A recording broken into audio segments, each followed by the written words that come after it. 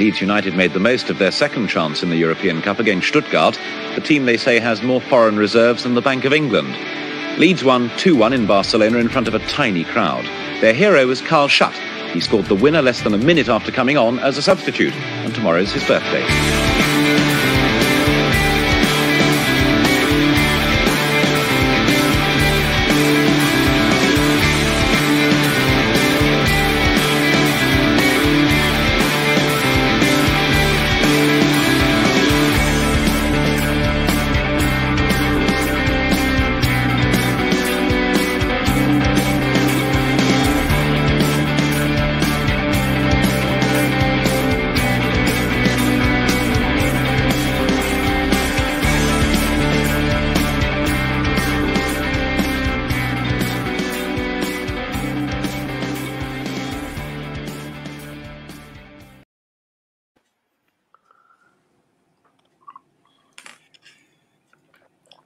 You think the uh, video is ever going to start?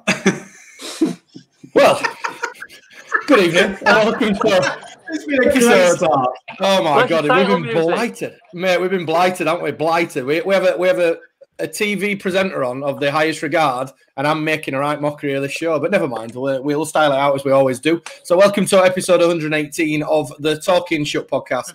Obviously, 118, mate. 118. Good, We've done about 150, Good I think. yeah. But yeah, it's not bad. Um, obviously won't be about our fantastic sponsors, the guys at the Terrace, the guys at the Social Maze, and obviously the big hitters, the guys at the Athletic. And as you may have heard, if you're listening back on a podcast, we've got a, a very special guest tonight. Uh, it's not it's not Paddy and, it, and it's not Raggy, and neither Ben here. So it can only be the voice of the uh, presenting legend, which you mentioned earlier, uh, of Soccer AM fame, uh, amongst many other things. Uh, John Fendley, welcome to the show. Thanks you? for having me, lads. I wondered who was coming on when you were talking about the, present, the presenting legend. I, I was like, oh, hang on, I've got the wrong night here. Thanks for having me, lads. Thanks for No, having me. mate, it's, That's a good. That's a good effort.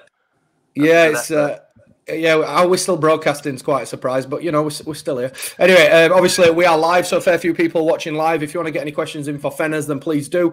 Uh, if you're watching live, though, share the stream. Tell other people that we're alive, and you know there's somebody who might be moderately entertaining opposed to us lot. Uh, and, and we'll get into it. Anyway, Fenners. Um, while, while we get guests on, we generally like to ambush them with like a million questions to start Go with on. Make them feel at home. So between um, Paddy and, and Young Ben, they, they knocked up a, a bit of an icebreaker for you. So um, we're going to start with question one, if you're ready. It's um, Yeah.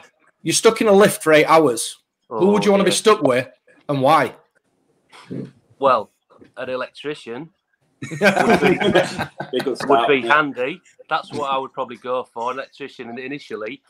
Uh, was Stuart Pearce an electrician? Yeah, I he think you was. were, weren't you? Yeah. Yeah. So you know, he if you got if you're going to go for an electrician of, of some repute who's got a little bit about him, and he likes his music as well as his football, so someone like Stuart Pearce. But um, I was thinking about this earlier. It's kind of like there's like a million people. You know, there's different genres. So uh, you know, footballers, sportsmen, uh, all kinds of people. So you know, if I'm going to rattle through a few, if, uh, if if it was if it's somebody from the world of football, um, I'd probably go someone like Maradona. I know it's a bit route one. Um, I've been fortunate to um, to to to speak to a lot of footballers, and I, I think I should pick people who I've not I've maybe not met. So someone like Maradona would be brilliant. Um, the late great George Best, I think he would be he'd be someone um, who, who would uh, that you know would while away the eight hours in there uh, quite nicely. Um, Martin Scorsese, perhaps uh, and Robert De Niro, and and because he's only small, you probably get Joe Pesci in there as well. you could probably have a, you know, you get them get them all in there. Um, How big's this lift? I'm going to I say I don't was beginning I to think mean- this. I mean, I've been- in, in my head, I've got it's the one that lifts at work. Ah. and they're quite big. You know, it's not like a Debenhams. Yeah. It's not like one of those little Debenhams ones where you can't really get anyone in. Mm. Um, but uh, yeah, um, P- Prince. a Uh, lot of dead people in this lift, Fenners. I was gonna yeah, well, you know, I, I, you it did, uh, that did that did kind of dawn on me, but uh, yeah, yeah, but they're, they're, they're- you know, they're, they're- I think they're all pretty, uh, they're all pretty interesting people. Yeah, definitely, mate. Uh, question two follows a similar theme, and I'm I'm beginning to think what Paddy and Young Ben talk about um, outside of our WhatsApp group. But you got to check into an hotel, and they've messed up your booking, and there's only one room. Which footballer would you never share a hotel room with? Jimmy Bullard. I'm, Oh, I telling missed, I missed this bit off. Why? I'm not even joking. Well, so Jimmy, God, God bless him. I, I love Jimmy. He's, he's one of he's one of my best pals, and I've really, you know, grown to love him over over the years since I've got to know him. I, I first met him. Uh, I interviewed him when he was at, when he was at Ipswich. I think that's the first time.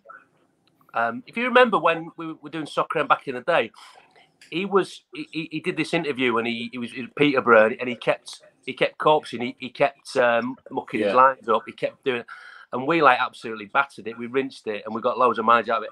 And he was always, you know, back then, I don't know, you, you know, you guys know what it's like, you know, Paddy, you play, and and, and it's it's. You always say oh, there's not a lot of personalities in the game. I don't believe I don't believe that for a minute. I think that it's very hard for, for them to sh- to show their personalities. But Jimmy was someone who did. Anyway, but he's a, he's a he's, he's a fantastic person to be around, but for a short period of time, because if if if if he's if his concentration levels dip, um, or he you know he just he, if he just goes off off radar, he, he just he, he can turn into be a real pain in the backside. So, and if you say to Jimmy, the worst thing you can say to Jimmy, so let's say we're rehearsed on a Friday afternoon and it's you know we've got ten minutes left and we've got a lot to get through. Jim, can you just stop doing that? It's like that's the worst thing you can say to, to Jimmy. and he, it's just, it's just like, and it just, it just flicks a switch with him. So I've heard all kinds of stories from people that he's roomed with. Um, he, he, he- uh, Danny Murphy asked, asked him to, um, if he could just cut his hair with the clippers. I mean, what are you thinking, Danny? He, asked he, could cut it. he basically shaved them, he shaved up the back there, and then the next day, before the game, they he, they coloured it in with with the black felt tip, black felt tip. So yeah, he's just he's just a menace. He's, he's he's he's a lovable rogue, and he always wants to have a, he always wants to have a wrestle. He always wants to have a fight and throw you about, and you know, just He, he seems like the type of guy where as soon as your eyes would go to sleep, he's doing a practical joke Oh. on you. hundred percent, hundred percent. Uh, yeah, I mean, yeah, I mean, I wouldn't, I wouldn't let him. I, I wouldn't even, I wouldn't let him near a ho- the hotel room. I, I would actually check into a different hotel if he was in the hotel. Um, even if it was, you know, I'd just get myself in a in, in a in a little travel lodge or something like that. Yeah, because back in Yeah. the day when you were playing, he used to feature quite a lot on Soccer AM, didn't he? Like when you were doing that Sky Sports thing where he'd pull his shorts up really high Yeah. and pat around, wasn't it? Yeah, he, he's he's brilliant, and he's you know he, he didn't have it easy in, in his football career, and he I think he got to a point where he was like, I'm going to enjoy this, and he enjoys himself on the pitch, and um, he expressed himself, and I think he was playing he, he, when he was happy on the pitch. He, he, you know, he was playing well, and so the two things sort of went uh, hand in hand. And I think it's the same with him. Whatever he does, you see him on a Saturday morning when he's in his element, he's loving it. You know, he's a star. He's a star of the show. Absolutely, make no bones about it. Um, this is a bit where you go, "Oh no, fellas, you're good, really, you're, you're good as well, mate." You know? no, he, he's he's he's brilliant, and he's he's he- he's such a great personality. He can still, but he still can do it as well. He Yeah. can still, he can still, he, you know, out in the uh, in the John Anarisa, he's uh, he's still got the magic. Yeah, definitely. Uh, question four then. You're moving house and you can only call one player to help you. Who would it be? Um, well, uh, I'm gonna have to go with the beast, Adebayo Akinfenwa. You know, because you know, I know you're looking at me thinking, "Hey, he looks like he lifts a bit. He looks like he does a bit." That lad, I don't. Uh, but the beast does, and I hate lifting things. I hate shifting things around. Um, rugs and whatnot, I'm all right. You know, I like I putting stuff, books and you know, hoovering and whatnot. But heavy lifting, not for me. So I think I'd have to go with uh, with the beast. Yeah, he's a big and, and finally, yeah, he's a he's a monster like in it. And finally, uh, Fenners, dream guest for Soccer AM. Oh dear me. Um, God. Uh, it's, it's, I get asked this quite a lot actually, and I've never got a really a really good answer. Um, it'd probably be the. I suppose you want them living there. No, we can have a dead one if you want. It's a dream one. Might not be a great guess, like, but yeah. yeah. I mean, um, I, I, I, the bo- boxers are always great value when they come on Soccer I AM. So if I, if it was a footballer, right, I would go for somebody like um, Cruyff. I'd go for someone like Johan Cruyff, God rest his soul, um, or or Zidane. Um, but I, have I've interviewed Zidane, but I, it, I don't really feel like I've it's counted because I basically sat sat there while I spoke to an interpreter and asked the questions. I don't know if you've ever done that, but it's a really weird feeling because you don't feel like you've actually had a conversation with him. Mm. So you come away with it feeling like, oh God, I was sat next to him and I wanted to ask him all this stuff and I couldn't do it. But someone like someone like Johan Cruyff, I love talking to people about football. I love talking to people who know a lot more about football than me, which is pretty much everyone who's ever played the game. So I love digging. I love like kind of scratching away at the surface, like peeling away at the onion, and, and getting to the nitty gritty and asking why why did that happen? So why did they do that? You know, and it's it's hard because foot. You know, if, if you're if a footballer walks into a room, if I'm with a footballer and a, another footballer walks in, the two footballers start having a completely different conversation about football than they would with me, hmm. because they kind of go, "He's not a player," you know, and that is quite right, and I get it, and so they they kind of you know, they sort of play. They miss me out. They play the long ball, and and uh, and they, you know, they have that they have that chat where you kind of, and that's why I, when I did used to do the show called the Fantasy Football Club, I used to love it because Merce and the guest would they'd really get into it, and I was just sort of perched on the edge, kind of like a voyeur, you know, just kind of looking in and, and listening to it all, and, and, I loved it. So I think someone like Cruyff, what he did with the game, you know, what he what he did um, as a player, but also you know at Barcelona and uh, you know, got got them playing that that way and and very you know very very opinionated and, and spoke his mind. I think he would he would be he would be the one. Yeah, definitely. Uh, so, Fenners, obviously, been a staple of our Saturday mornings, all of us, um, and for many other people up and down the country. But uh, sort of what were your journey to to landing at Soccer AM to the John Arnorisa with Jimmy Bullard? How did you how did you end up there?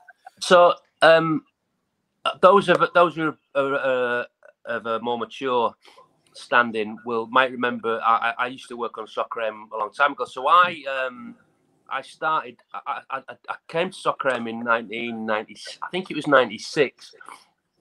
Um, so I had um, I basically I, I wanted to work in football. You know that that was my that was my ambition to work in football. And you know when you when you realise that you know you're not good enough to play, then I started thinking about coaching. So I started doing some coaching at, at Scarborough Football in the Community with a guy called Ian Kerr, and then um, at, York City with a, a, guy called Gordon Staniforth, who I'm sure you sure you know of. Um, so I was doing stuff like that. I did my prelim and and um, and uh, I was at St John's College in York, and so I was I was doing bits and pieces, and then I was going to America and coaching out there. So I I was kind of really into the idea of coaching. Um, and then I got some work um, for the PFA, uh, delivering GNVQs, going into clubs and, and, and sort of basically teaching the YTSs, um, giving them something to fall back on in case they didn't make it. And, and it was great going to the clubs, but again, it just didn't really feel like it was the right sort of thing for me. And then I went to uh, Euro 96 and I worked as a volunteer at Elland Road, um, ironically. And um, I just loved it.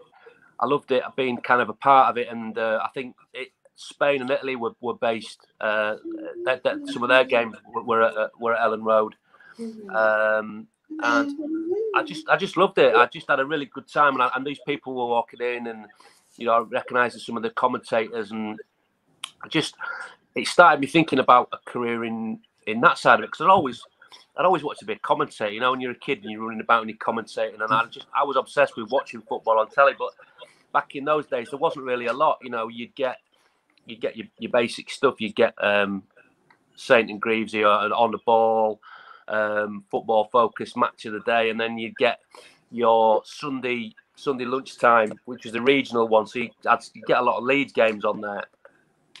Um, and I just I just um I started writing off to I started writing off to Yorkshire Times, um, Granada, Sky, trying to get you know Sky had just kind of not not you know was in its formative years, and I, I got kept getting knocked back. It was really quite difficult to kind of get anywhere near any of these um, these places. So anyway, my mate um, knew a guy who worked at Sky and said, "Look, I could probably get you in for a, a week's work experience." So I came down and I was doing some other stuff with a company called Club Call. I don't know if you remember Club Call.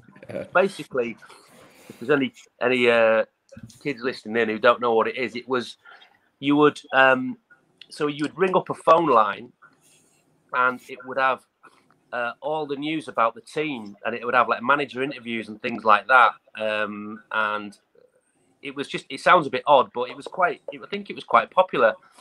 So you know, you'd interview a manager and then they'd put it up on the on the the, the recording wherever they, they used to house it, and then you'd ring up and you'd sit and listen to, you know, whoever whoever it was, you know, the manager at the What time. is- What? And yeah, and people and you obviously you pay premium rate for it, so it was you know it was it was it was it was a good idea. And but anyway, I did some work experience for them.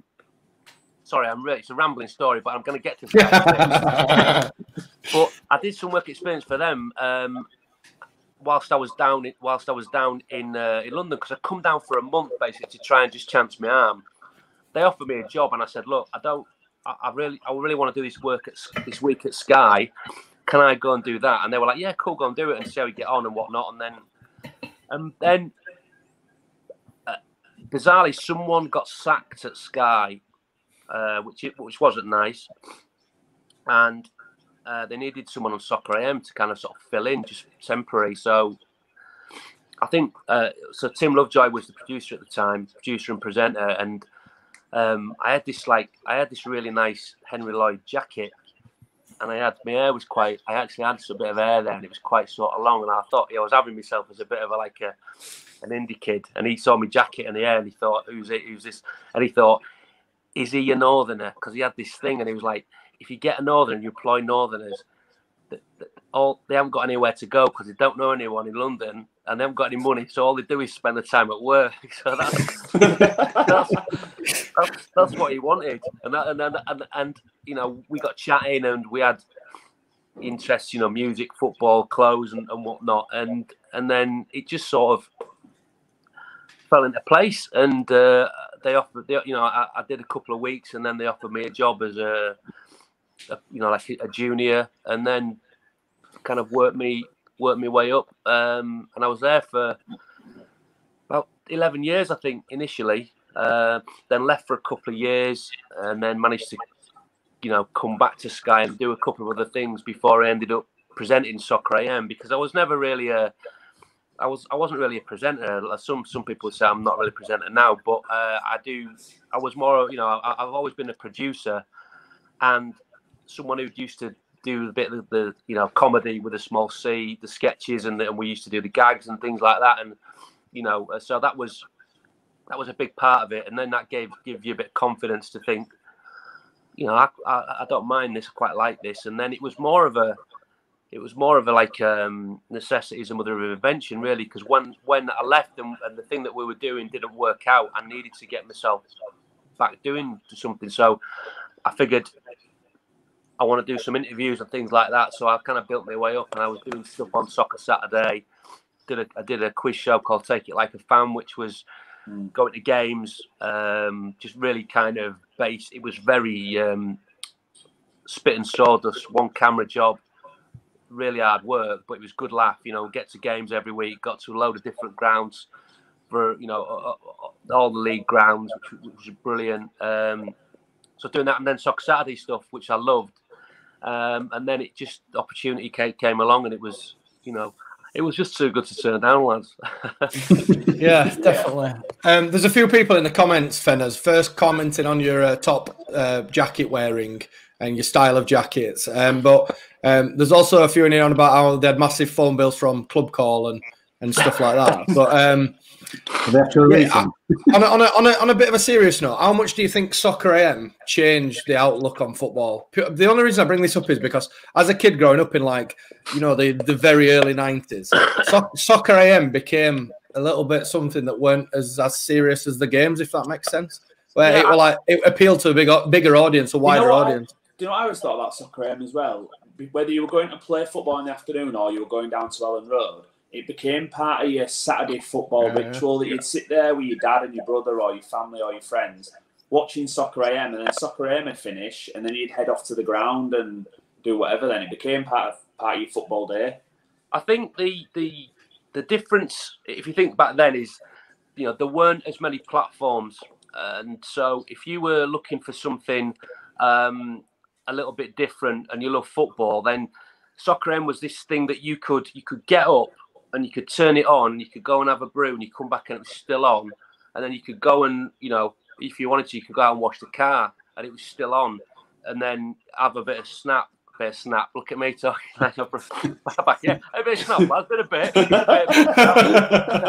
uh, you could have, you know, you, you, because it was on for four hours initially, you know, and, and it used to start seven. When I first started, it started at seven till eleven, and then it went from I think it was eight to eleven, then it was nine till twelve, and it's gradually sort of been been whittled down for whatever reason. But it was you had like you know Saturday morning, you had it was if, it was it was a captive audience really, you know, and it was it was it was live, so it and it, and it was you know it was very experimental because Tim had Tim had worked on the Big Breakfast, so he'd he'd come across football. You know, there was a lot of you know there was a lot of negativity towards football uh, back then, which sounds a bit weird now, but you know there was there was obviously you know issues with with hooliganism, uh, you know, and and you know it wasn't it wasn't sort of it wasn't the the the it's still an amazing game, you know, but it wasn't it wasn't deemed by a lot of the press and, and people I think is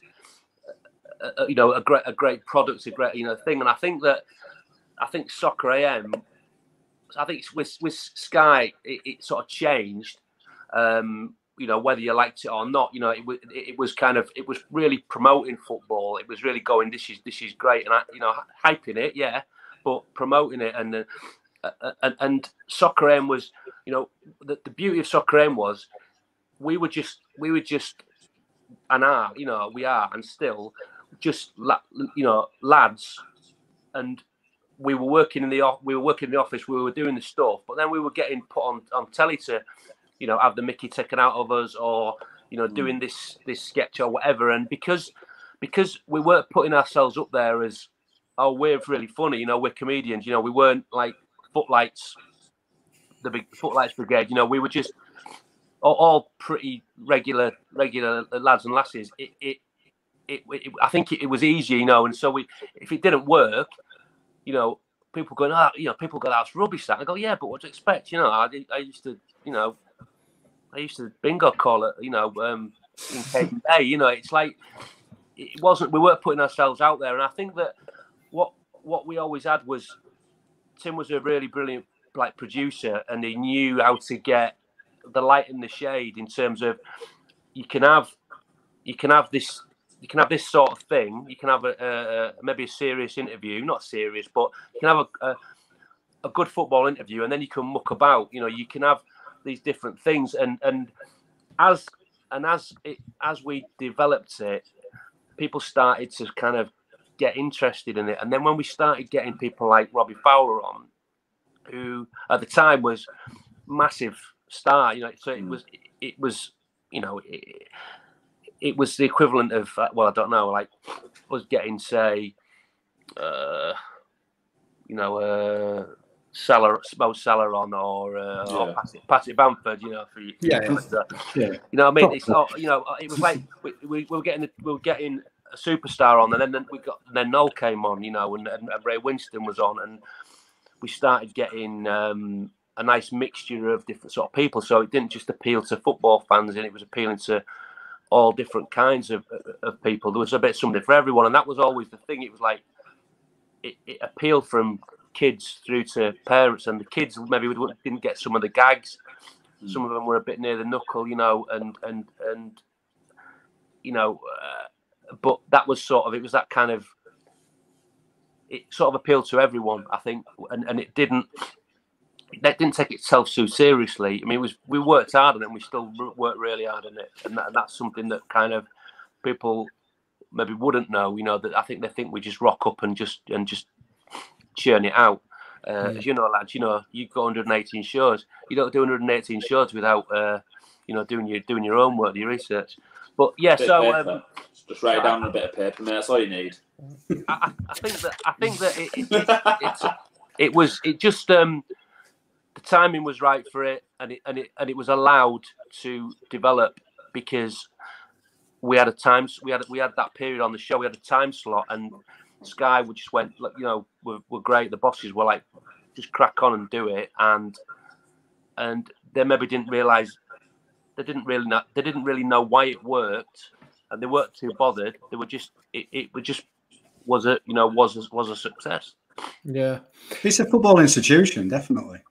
Definitely. It yeah, really is in, definitely. in this country, and and for, for all those reasons, you know, it's like you say, it was a bit experimental. There, you know, it kind of gave you that almost that peek behind the curtain. You know, seeing people that usually would be behind behind the camera, and it was constantly kind of involving them within the show, and and even things like that was just it just made it something different, and it was. Um, and yeah, for for its this kind of standard test of time, obviously it's a lot of different incarnations over Yeah. the years, and it's kind of changed a little bit, but it's still, you know, it's still something that's you just know you're going to flick it on on a Saturday morning. There's going to be something that's entertaining, something that's funny on it as well. I, I think that um, I think that the, the, the thing with it is we always wanted it to be, and, and I still and I certainly want it to be like this now. Is you want to be watching something and you sort of feel like the wheels might fall off at any point, but they don't. But they don't. They never actually do. You know, we just wanted to keep it going, and I think there's a real, there's a real uh, something to be said for that sort of TV where it's it's quite it's relaxed, it's chilled, and you feel like you know no one's really having no one's really trying too hard with it now you know and i don't think we ever really did you know it was it was we, we work we work very hard with it but once we get on there the show i think it needs it should be should be like this you know it should be i wish you know we had more time on the show that's my that's my biggest issue with it is that I never, we never really get to talk, to sit and have a good old chat, and and me and Jim have some great chats on Friday afternoon but we never get a chance to do it on a Saturday morning because we've got the guests. You know, we've got you've got 72 minutes of editorial now, and it's not much. And you want to mm. you want to do certain things, and, and you've got to make sure that, that the shows, you know, it can't just be chat because then that'd be you know that it's like you know it, it becomes like a lot of other shows then that that, Yeah. that, are on, that are on telly talking about football. And if you want to watch people talking about football or listen to people talking about football, you know, there's plenty of there's plenty of places to go and do that. But we want we want some gags. You know, we want a bit of live music. We want to see Jimmy sticking in the top bin. We want to see the guests sticking in the top bin.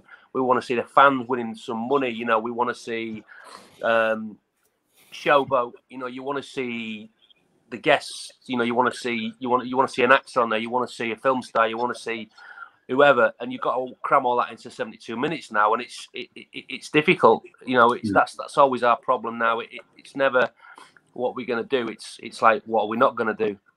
You know, I always think it's good now when you get like an ex pro on and we go in the car park, take a few shots, try and do top bins. And it's, as a fan, you remember them from being younger and you think he's still got it in because they're always class. Yeah, So Yeah. you always do that, don't you? I, I, I love it out there, and, and, and it's it's weird because it's when I came back, they had um so every year they would they would do like um I don't know if you remember so when I when I first started on it, they used to have like they had a little tiny little target Yeah, yeah. outside in this little car park. We're in, we're in a tiny studio, like probably the size of this room here, which is tiny. And and then each week, each year, we sort of developed it, and we had like one called Lobster, where Yeah. Rocket was dressed as like a lobster, and then we had one called Chips, where um, do you remember the program Chips with the, the, the motorcycle cops? So it was basically like you had to chip it over this wall, and then the two like the, the, there was it was the two lads. It was uh, Aldo and another guy, and they'd come on as cop motorcycle cops, and they'd be really like flirting with Helen and like really sleazy. And then we did um, another one, and it was me and Sheephead. We were like the Russian subs doing like the warm up. We used to do like a re- we had like blonde wigs on and stuff. And I was always knackered, and but Sheephead like he was never putting it in. He was always just. He, I was doing all the proper like jumps and all that, and he was just doing like little, little, you know, those little things with your arms, big circles and all that. And then, so each year it kind of developed into something else. And then when I'd left, they started doing like uh, the one with all the different holes to up to the Champions League. Yeah. Um, and, and it sort of was getting big, and they were all getting really big budget. And then when I and then when I the first year I came back, they were like, "Oh, uh, they've already built this goalie. They've already got this big goalie." And it was like, and I was like, "Well, who is it? Who's the goalie?" And they were like, "Oh, it's um, it's um, Courtois." And I was like, "Why is it Courtois?" Because Chelsea won the league last year. And I was like, "What? That's gonna just that's that's not you know you." That's great if you're a Chelsea fan, but you're watching that every week. You know, Leeds fans, brilliant. Yeah, cheers, so I said, well, I said, how much does it cost? I said, how much does it cost? And they went, they showed me the number, and I was like, what? you know, that it was. You took him was, home, didn't you? You've got him at home. No, it, but so what I did is we, we went. The, the Euros were coming up, so I said, I tell you what, let's turn him into Manuel Neuer because England, if they get to the Euros, they're going to have to score past Neuer to win the Euros. So it was a bit sort of jingoistic. And so, and then that year after that, I was like, tell you what, let's just sack off all these big, it's a knockout style thing. Why don't we just put a goal out there, right? And put some AstroTurf down and we can do what we want every week. We can just go out and it'd be like in my. I don't know about you, but as a kid, I always wanted to have a, a, a, thing downstairs where you go downstairs into like a basement and it's like a full size astro turf. You know, I had this thing in me and my mate used to talk about all the time, a bit weird. But um, it was, uh, and it was like this thing. It was like, let's get this astro turf outside, and we've managed to. And then you know, it, it's sort of we then someone went, oh, let's put let's put some bins in. So it cost us the, the amount of money it cost us and the amount you know, and we just we don't whenever we don't change it. We're not changing it for three years. We just add little bits to it here and there. We've got a brand. We've got a new goal in. I don't know if you saw it. We've got one like a box goal now. Very consistent but the but the bins are, the bins are just the same. Bins are bins are just the same. So it's like, but it doesn't matter because if someone sticks it in top bin, everyone just loses the their you know stuff. So yeah. yeah, man, it's absolutely class. That's become a challenge now, though, even for the fans, isn't it? Just stick it in the top bin. Yeah, I mean, we can't claim that we invented the phrase "top bins," but we have basically nicked it, and we will. We will take, you know, we will take anyone to court who tries to use it. the, the, thing is, it's it's amazing how many things have transferred over from Soccer AM. So crossbar challenge, uh, yeah. and then the one where you just have to swing it in from a corner, straight yeah. into oh. net from a corner.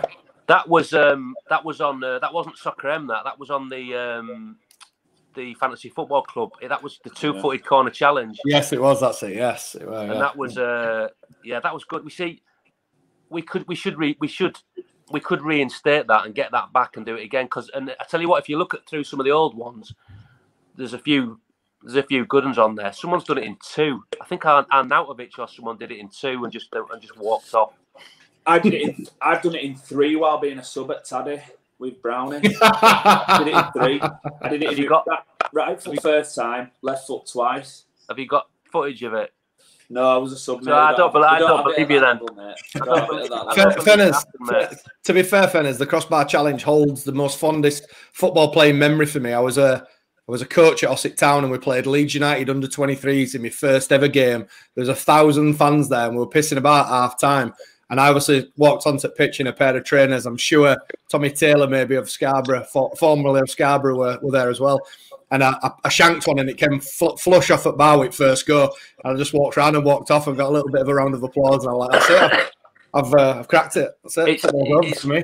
it's good actually. They've started sticking up a few old classics. So people who've done it, you know, because you go back through the archives and you see like, um, we used to do skills school and stuff like that. And, and you'll find like Raheem Sterling did it, uh, you know, uh, and then um, Jordan Henderson did it when he was at Sunderland. Yeah, yeah.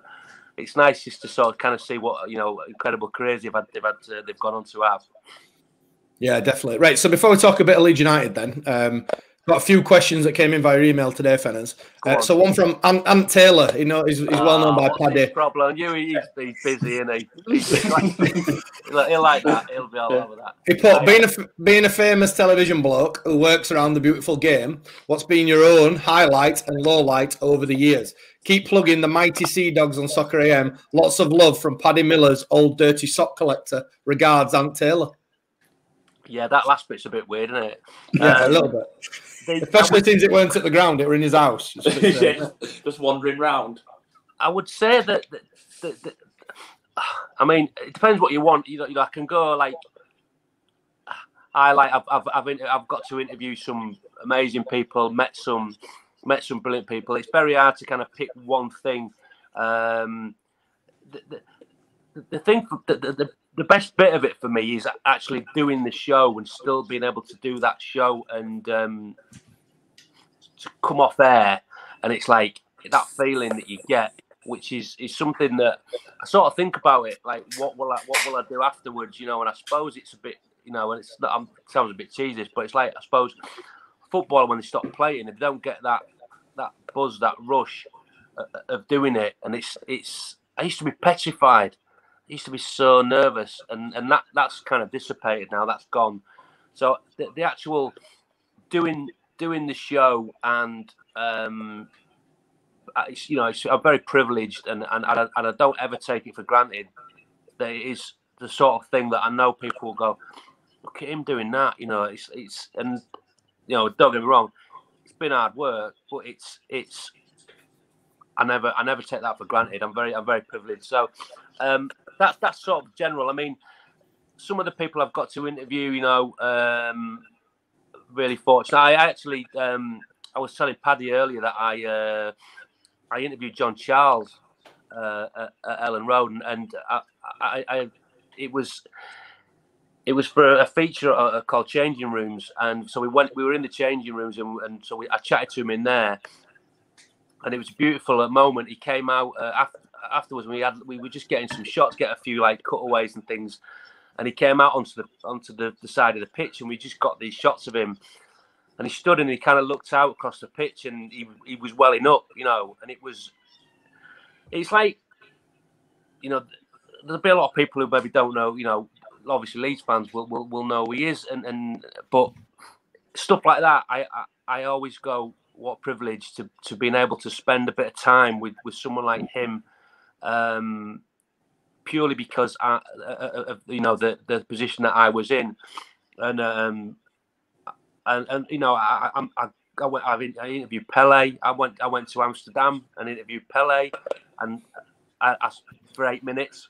Eight minutes. I remember that. there's a bloke stood behind. There's a bloke stood behind the camera going, you know, and he was literally, he was, he was eight minutes, and I was like, come on, make us a break. It's like Pele, you know, and um, I, have been really fortunate to to to, to do that, but um and, and there's, there's a list, and I don't want to, you know, just if you just list them off, it sounds like oh, you know, you know, but um, that that they're they're they're things that kind of, you know, you when you stop and you you know you go wow, you know, the, the, the stuff that I've been able to do through the show, but also doing the stuff that, you know, the stuff that had a bit of an impact on on um, on people as well. You know, again, it sounds a bit cheesy, but someone messaged me the other day going, "Oh, uh, I, I, didn't really watch Soccer, but I've started watching it, and I love it when you. I love Shocker Saturday. I love the sketch, and and and it just puts a smile on our face on Saturday morning. And you know, when when everything that's going on with with COVID, it, it, this this is these these these were her words, and, and it just you know keep keep it up, and it it's it's it's nice when you hear that kind of stuff, you know. Mm. And you, obviously, you know, you get you get stick and you get pelters, but it's I, I see it as that's that's what we should be doing with that show, and we talk about it a lot. And it's let's not do what everyone else is doing. Let's do what we let's let's do what we think's right in, and what makes us, you know, what we think's funny, and and and what we think that you know, like people like you guys want to see, and um, yeah. So that's that that's that's really the yeah. I've not really answered his question there, and I've, I've rambled on. So, to be fair, uh, that's, that's all we do week in week out. We just don't actually answer anything. Yeah. Talk about yeah, what we so want to talk about. it, but you know, the, the the, the thing like the thing like you know, the, getting to, to meet these great these great uh, players who some some who are sadly no longer with us. It, it, it's something that I'll, I'll, I'll uh, you know I'll always remember. I never take that for granted. No, mate, definitely. I know we're, we're not not the same, but in, in, a similar boat. You know, we're we're very blessed having to being able to interview some of the people that we've been able to interview. And you know, if talking show ends tomorrow, you know we'll we'll have great memories to go away with, and and, and that's what uh, that's what a lot of it's all about. You know, I think there's too much focus nowadays on how much money you can make off things and how many stuff you get off stuff. End of the day, we do this because we enjoy it, and we're, we're, lucky that we get to interview people like you, where we wouldn't normally get to interview um, yeah. people like yourself. So definitely, uh, shall we talk about a little bit of Leeds United then, Fenners? What have you yeah. made of um, what have you made of Leeds United start to the Premier League season and being back in the um, back in the big time, as it were?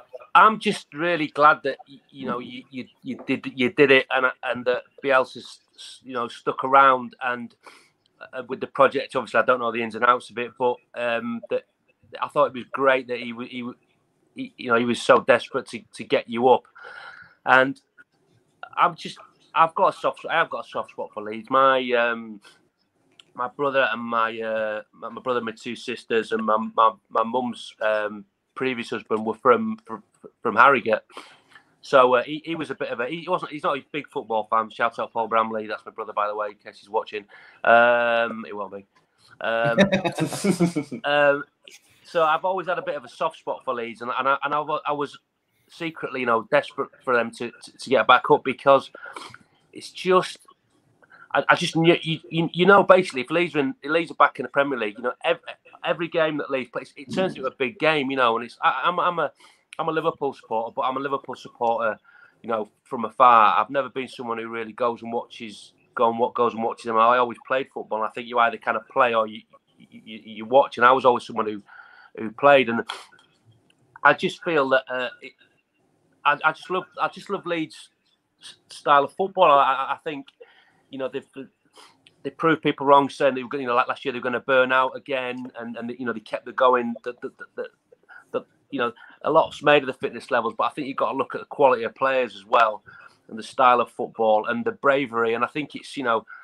Des, uh, Des Walker came on on the fantasy football club and he talked about players having moral courage, um, and you know not like the courage to go and you know munch someone or two foot someone or you know um, but but to to keep playing in the same way and to keep trusting in the the method. And you see that with a lot of teams like City and, and Liverpool. They you know they they trust they trust it, and Arsenal, you see it with Arsenal now. The way they're starting to play out from the back, and and uh, you know a lot of Arsenal fans going, "What we're doing, what we're doing," you know. But it's it's you know there's a lot of people who know a lot more about football than me, and about a lot of football fans who, who understand that that's that's the way that a lot of teams are going to play, and and and the intensity, the you know, I, I, I love I love Kalvin Phillips. I, I love you know Ayling. I think Stuart Dallas. You know, I look at all these players and you're going, wow, these aren't these aren't just great athletes.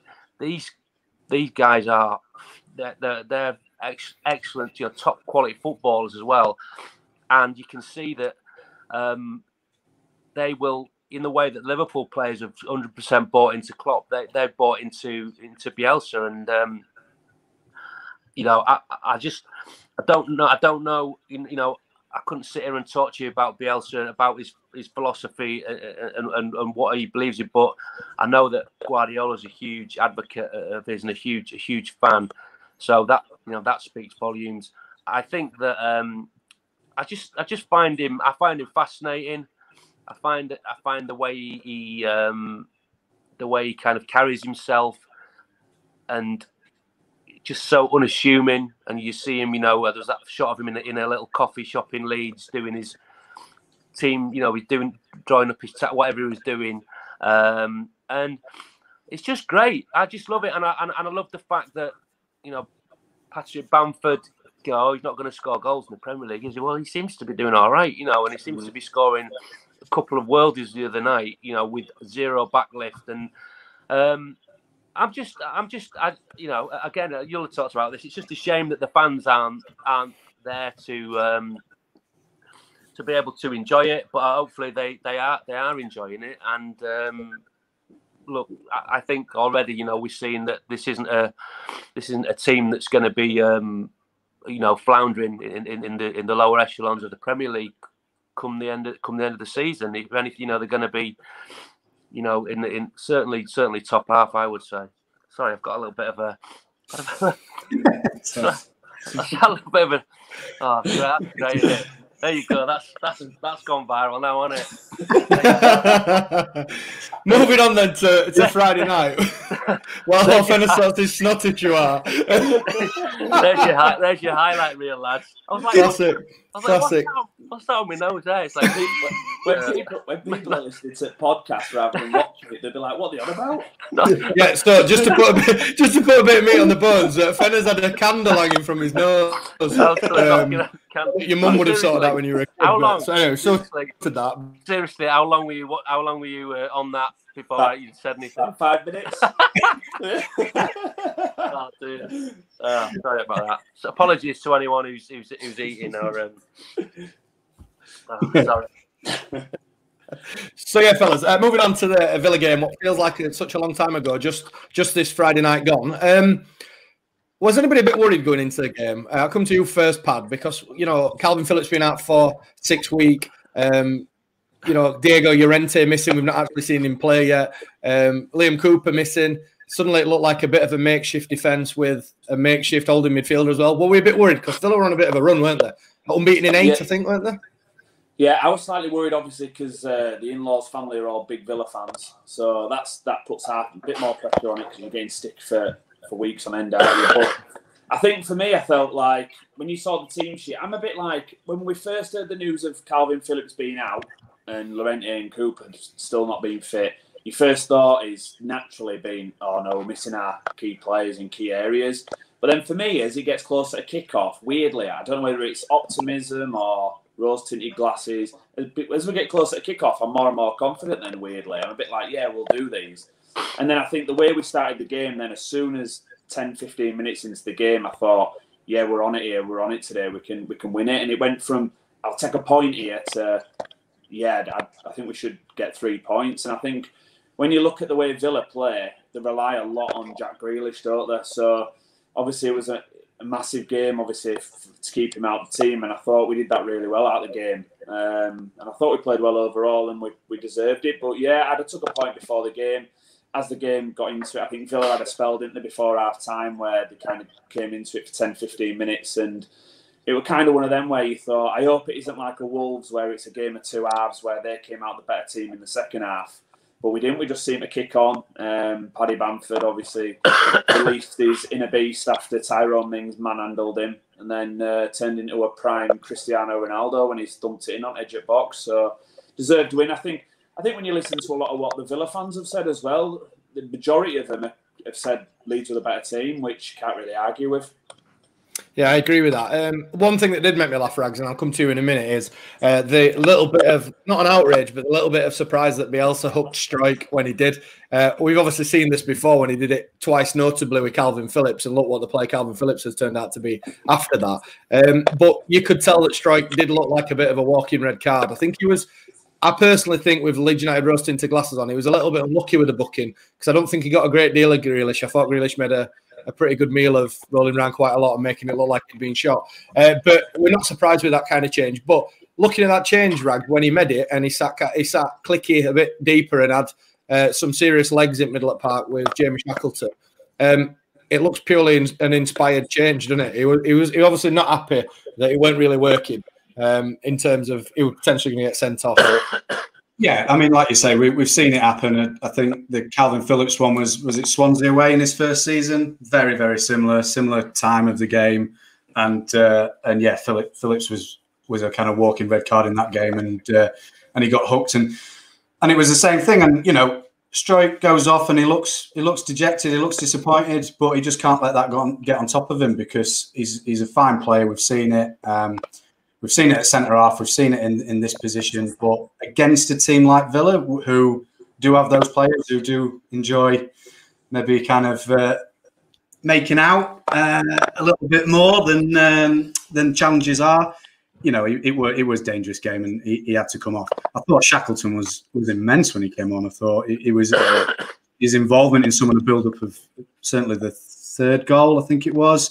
Um, he's full of running. You know, obviously we all you know, we've interviewed him and uh, um, thoroughly behind him as a as a as a great young prospect coming through, and, and uh, he's really kind of rewarding us um, for that. And obviously can do it at, the, at this level as we, as we can see.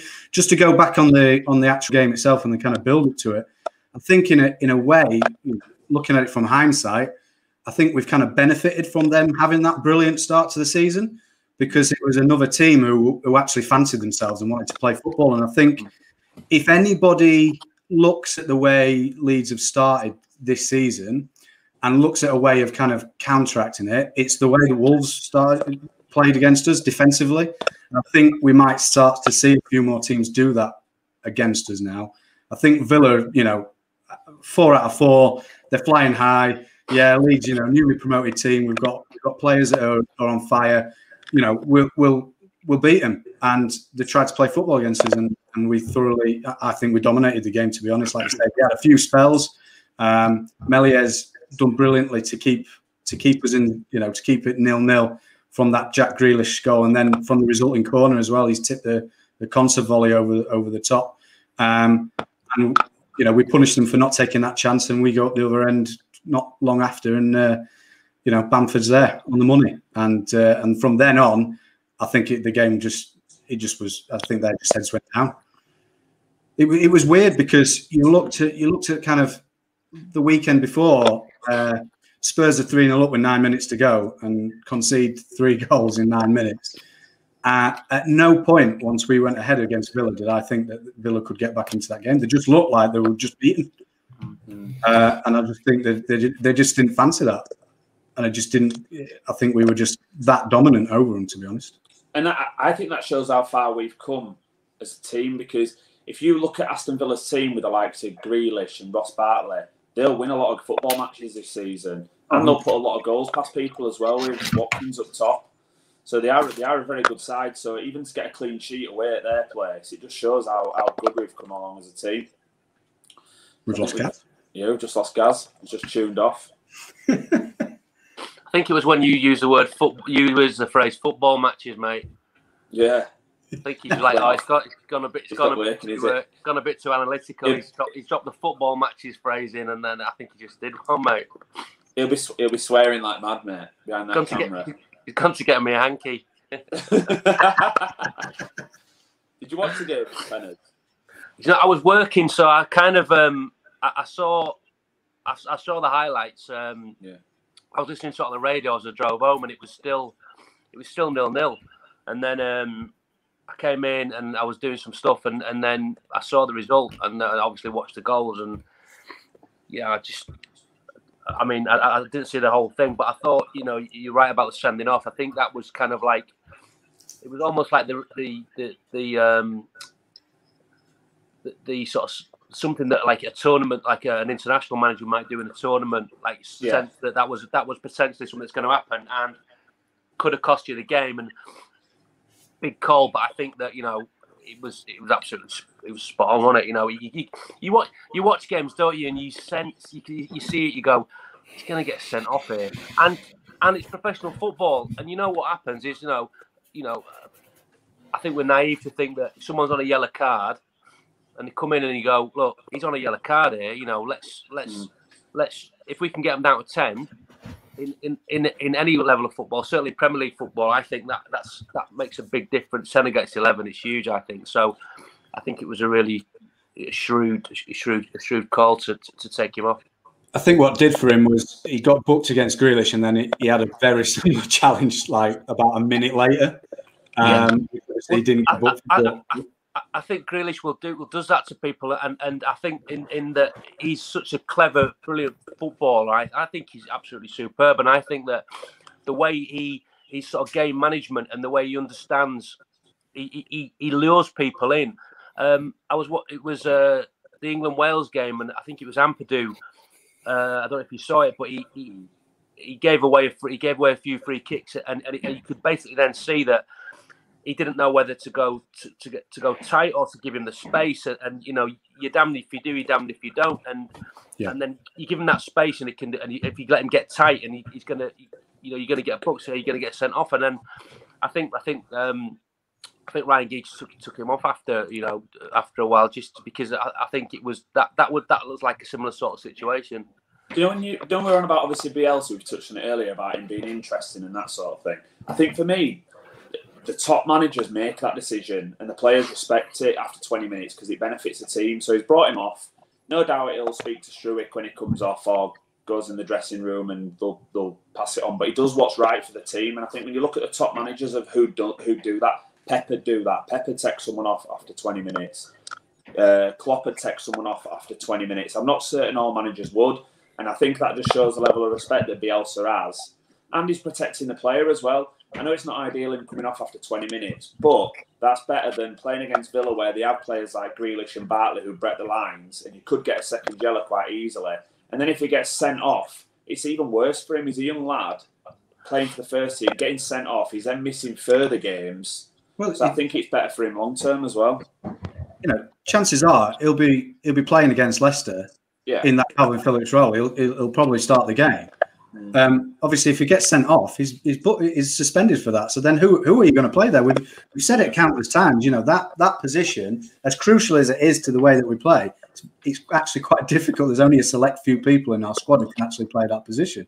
Although it did kind of work with the whole Shackleton Klich thing, and um, to, after the substitution was made, and we didn't actually kind of play with that kind of position, and it, it, it it's interesting to see, uh, but I think he'll still probably start against Leicester. Straight.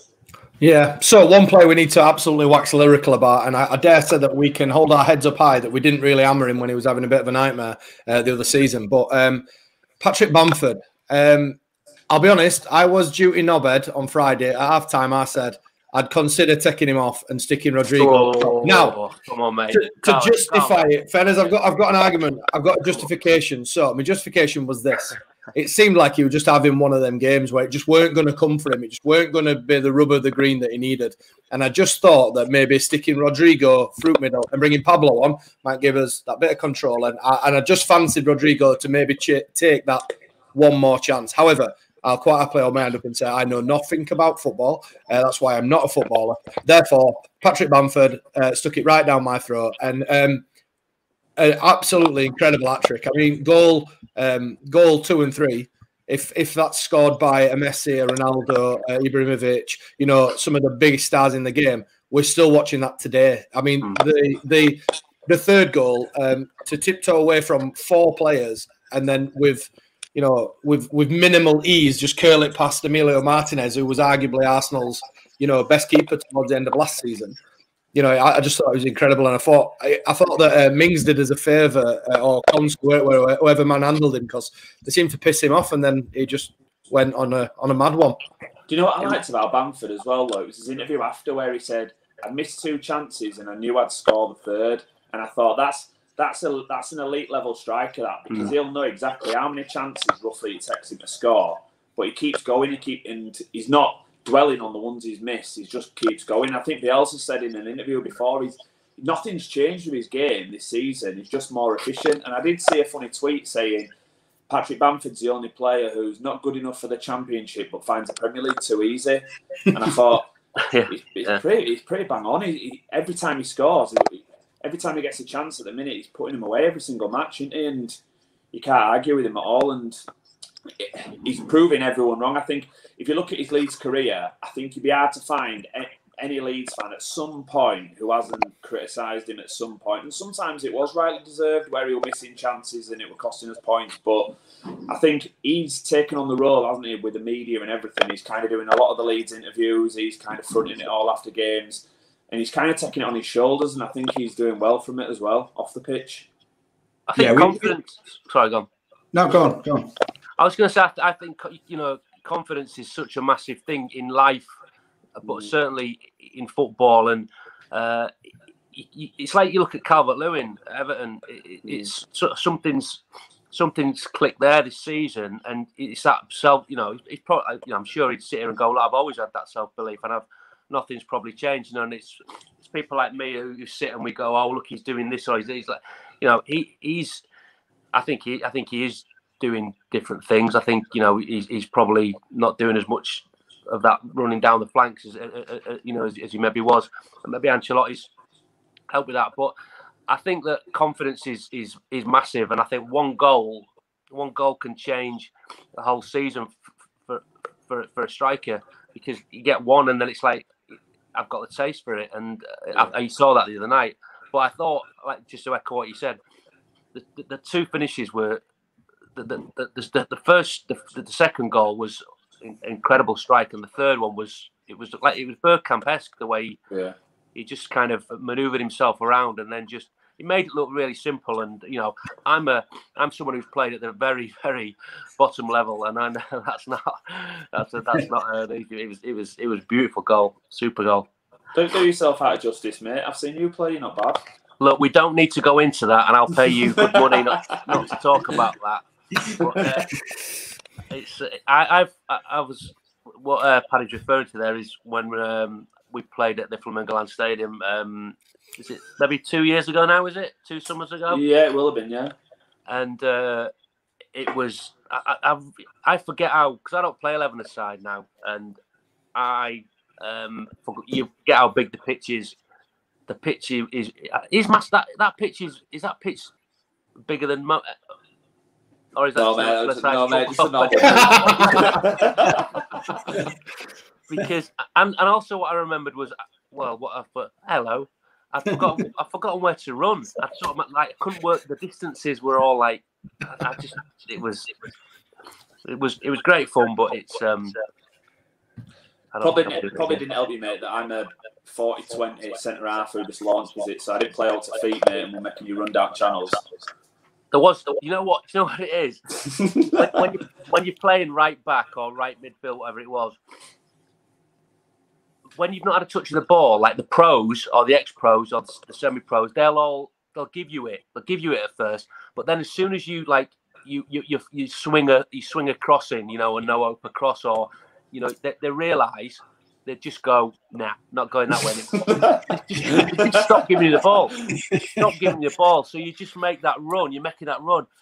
Yeah, this, yes, yes, come on, yeah, yeah. And, and just like just cut inside and you know, ping a 40 yarder to the other to the other side, switch the field as uh, Do you know what? Do you know what I remember about that game? We had obviously we had Dean Windass centre mid, and he turned round and we we played it long a couple of times, and he literally said, "I'm not running unless it, you pass it to my feet. I'm not doing anything." I was like, "All right, cheers, mate."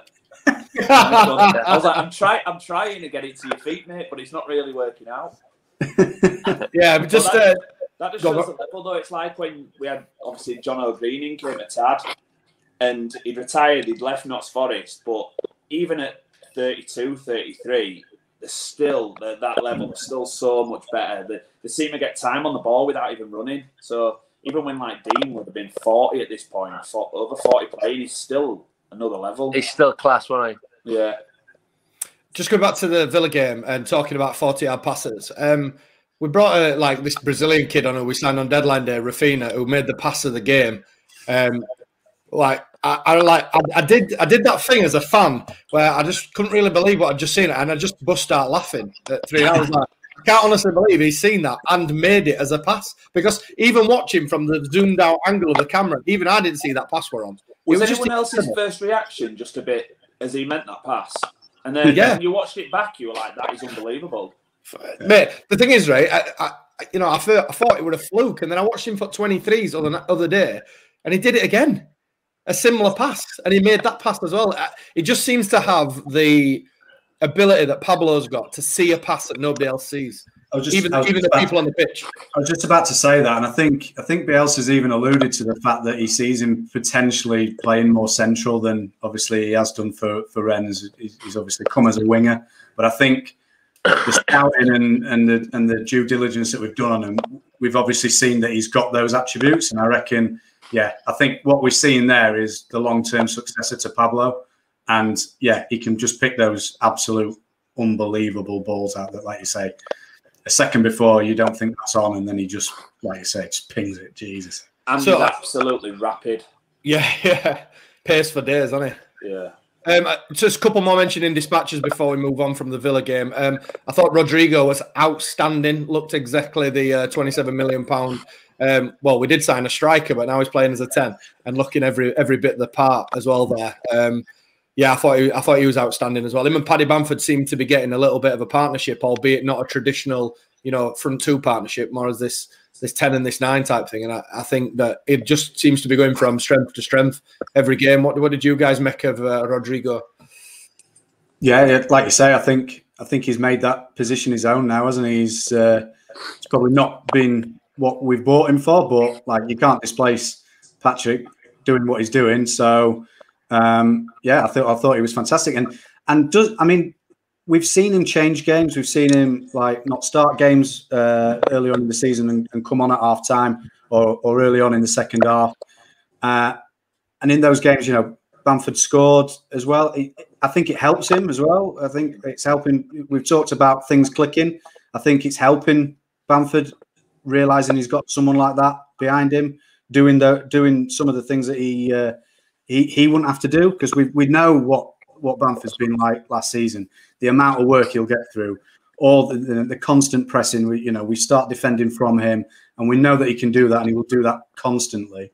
But does does having Rodrigo playing the way that he is and how, how well he's doing, does that free Bamford, Bamford up to do a few other things and get into those positions that perhaps he weren't in other games because he's had to chase it out wide and, and all of a sudden we've got we've won the ball back, but Bamford's in the right wing position because he's he's gone chasing it down and things like that. So um, yeah, I thought it was brilliant. And and another one, I mean, I don't you can't really pick a bad performance out, but I thought Ayling moving into centre half was absolutely bar that bar that little error that he makes on Watkins, which he, then res- makes up for because he clears it off the line from the chance from Grealish.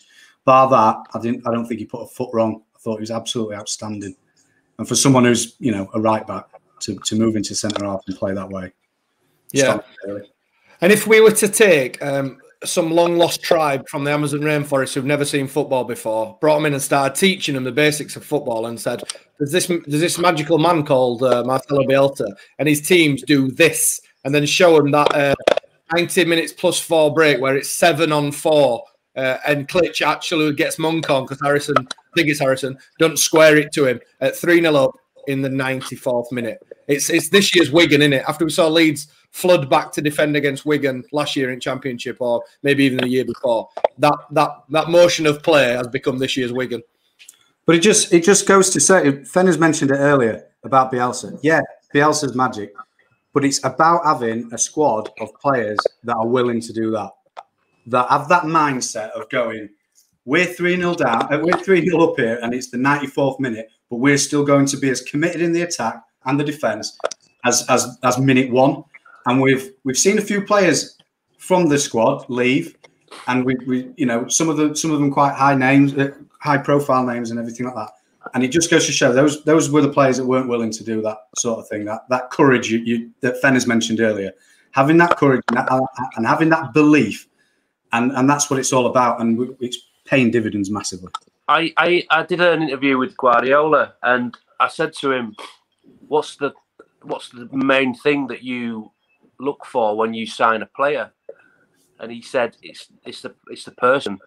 You know, it's it's it's got to be that that person who is willing to have the mentality and the attitude to, to buy into what we're doing because you know obviously they've got to be you know a, a world class footballer but if, if you if you're not the right if you haven't got the right attitude to buy into that and you're going to start questioning that and you're not going to um, be open open to, you know to to learning and adapting then I don't think you're going to make it. And I think you're seeing that you're seeing that at, at some at Leeds and you see that at Liverpool.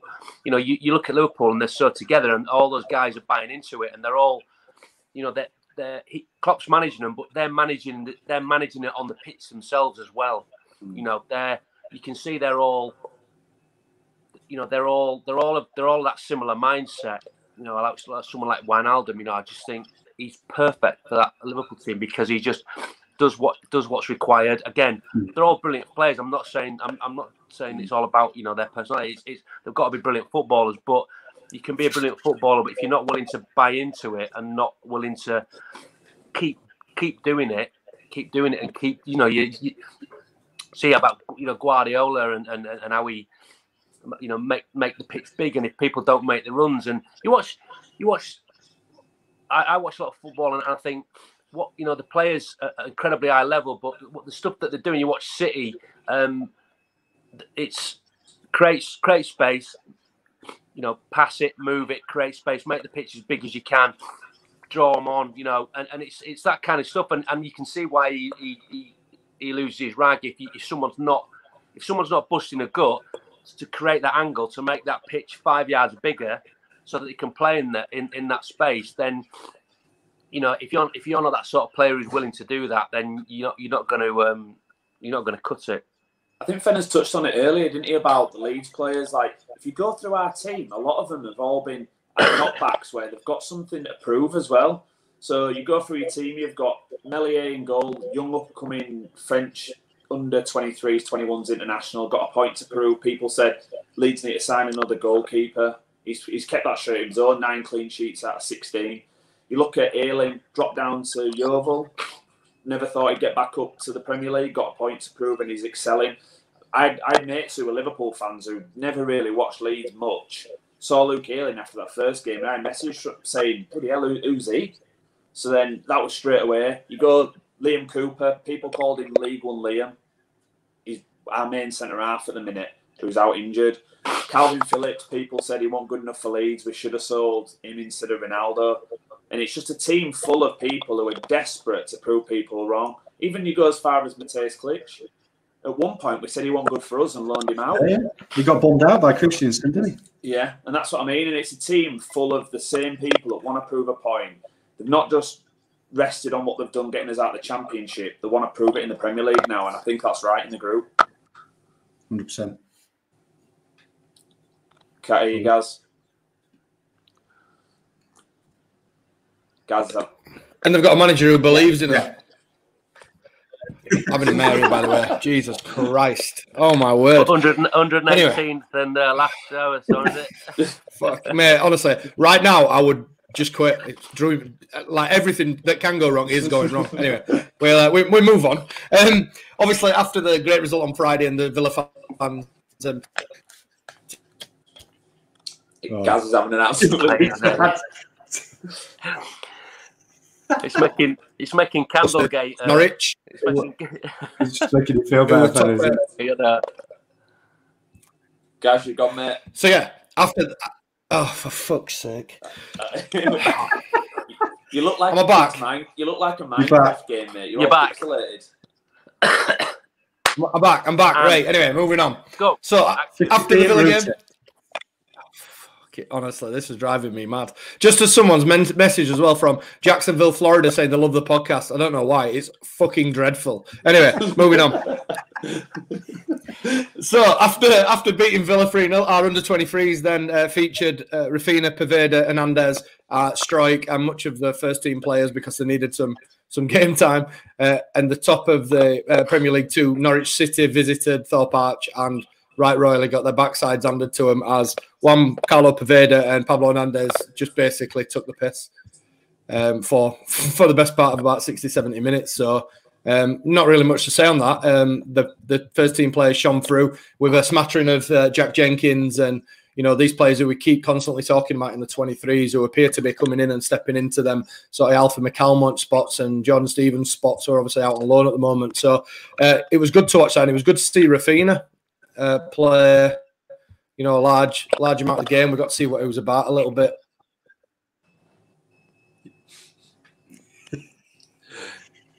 He's going to be fuming after this, isn't he? He is, yeah, absolutely. Do you know what I it was good. Did you, you, you see any of it, Pat? I watched bits of it, mate. Yeah, um, I tried to catch up some of it after as well. You know what I thought were good? The likes of when the first team players come in, Charlie Cresswell stays captain. And I quite like that because you think he's there week in, week out, but it's also good for his development as well, isn't it? Because he's going to be in there seeing how the likes of Pablo Hernandez conduct themselves on a match day and that sort of thing.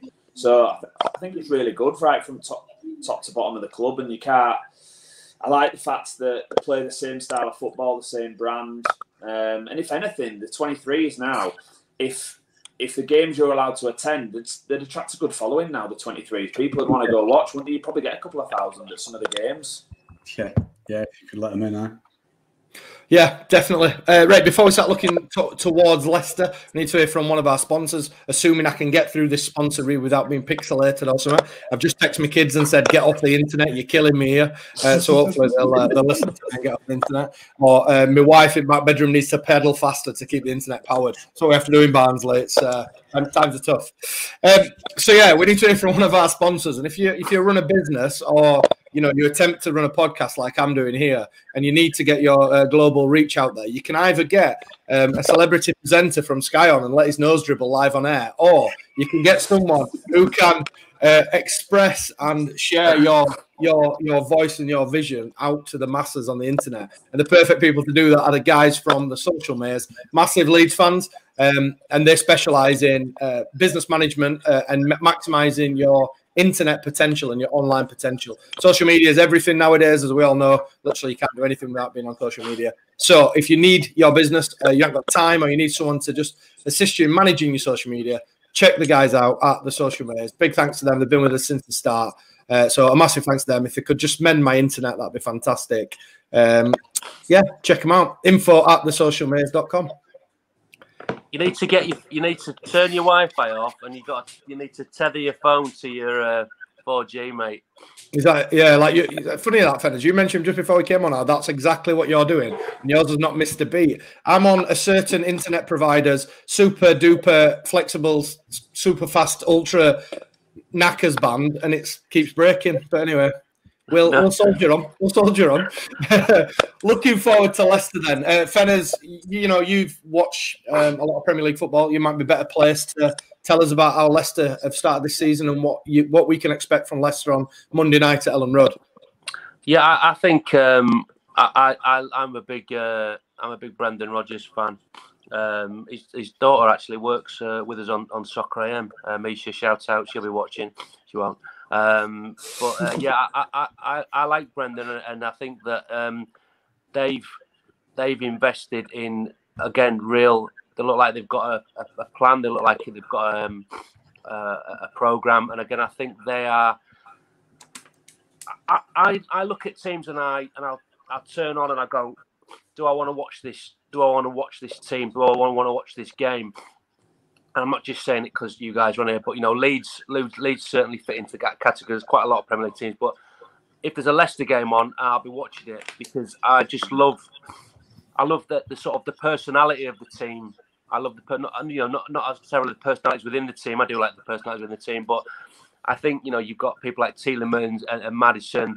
Um, we had Andy King on Soccer AM the other day, uh, who is um, he's he's left the club. He's left the club now. But bizarrely, you know, he's he's he's a Premier League winner a couple a couple of years ago, and he's he's, he's he hasn't got a club, which I think is absolutely unbelievable. But it, it sort of shows what um, the the strength that, that they've got. Um, and he was talking about Vardy, saying Vardy's actually. He talked about Vardy, and he talked about um, uh, Mahrez, and he talked about Kante. Uh, I don't know if you saw it, but he said Kante just turned up at the training ground and they just saw this this little guy like walking around, you know, and they were like, "Who's this guy who keeps turning up?" You know, and and is, are we going to sign him or what? You know, and then you know, lo and behold, you know, he went on to do to do what he did, and he said Mahrez was the, was the you know the the outstanding footballer in that team, but he said that Vardy is now kind of learned. Um, not he, he's you know he's not just getting by on on you know having a Red Bull and a coffee and fizzing around. His his understanding of the game is is is, is great, and, and I and I just I think he's sort of underrated, Vardy, uh, mm. even though you know he was. I know he, he retired from England duty, and I think that that probably has has helped him. But I just I just love watching him. I just love I, I love I love his movement. I love his tenacity. It, it you know he'd be a he'd be great at Leeds, wouldn't he? I'm not saying you know but but you know he's a he would be someone I think who would he'd, he'd be like a Bielsa kind of player. Um, so I think I think they're um, I think that you know they they they sold Chilwell. I think Chilwell was was top quality. Obviously, that's why he got to Chelsea. A brilliant left foot, and I think you know we need to get him uh, in that England side to get some balance down that left hand side. So I think they're um, I think they're a, a, a top side. Um, beat Arsenal at the weekend. Uh, I think it's the first time they've beaten Arsenal for, for, for a number of years. So yeah, I, I, think it's I think it's a it's a, it's a tight game, but again, you know that's is it the Monday Night Football? It is, yeah. Yeah, Yeah. yeah. Uh, Monday Night Football. I think you'll find it's on the on. Is it on your Sky Sports? I think you'll find.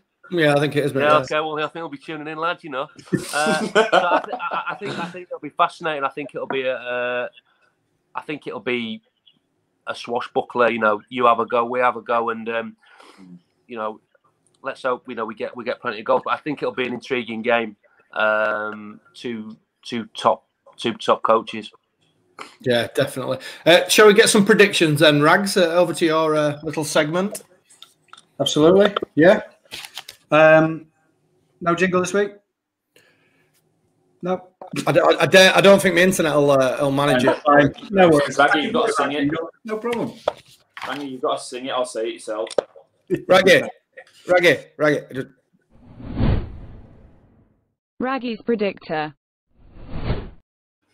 That's fair. I like it. We've got it. It's a tool, isn't it? So we, we, I want to use it. Um, just looking over the uh, over the results from um, from the Villa game. Um, two of you on this show actually with me tonight doubted us against Villa. Both went for two two draws. Before, have they? I thought- I Terrible. didn't think so. Absolutely, you don't pick up a point. Um, nobody got it bang on, uh, but uh, me, Old Ben, and Young Ben still at least said that Leeds would win. Uh, we thought it'd be a bit tighter than it actually turned out to be. So, um, Gary, Old Ben, Young Ben, now level on six. Me on four. Paddy losing on three. Mate, I'm having a nightmare. It matches Having my fantasy absolute football, mate. nightmare. Yeah, fantasy football. Fantasy You're football saw stinker, on below aren't you? average this weekend, mate. Below average. You're meant to be the one pad that knows a bit about football and all, not like us numpties. Do you know Exactly. what this, this predictor me? I think it's really hard because I've got rose tinted glasses with Leeds, but now because I'm chasing, I'm trying to do the opposite to what the rest of you are picking because I've got to catch up. You're I think- overthinking it. I think I think if you start, you you know, when you when you use the phrase football match, you know, you, you, you talk about a game, you use the term football match like you uh, you, you, you did a few moments ago. I think you, you- you should be very embarrassed about your prediction scores, mate. yeah, true. So moving on to Leicester, as as Fenn has said, it's uh, the Monday night football. I think that's uh, I think that was the worst part of uh, of Friday night, uh, knowing that we had ten days to wait between a, a Friday and then a, the the following Monday uh, in between games. But we're not going to uh, not going to cry about that because we are televised again, so it'll be good to see. Um, we're at home. Um, the Bens who are missing tonight, they've both gone for the same score. They reckon it's going to be a two-one Leeds victory. Um, so, what do you think? We'll start with our guest, Fenners. What do you think? Is it Prediction uh, is it uh, is it at Elland Road? It's at Elland Road yeah, Um, with that vociferous crowd. yeah, yeah. I'm gonna um, I'm gonna go. I'm gonna go for a draw, a score draw. Do you want? Do you want an actual score? yeah, I need, I need it. I need it. Because I think three top, points to get it bang on.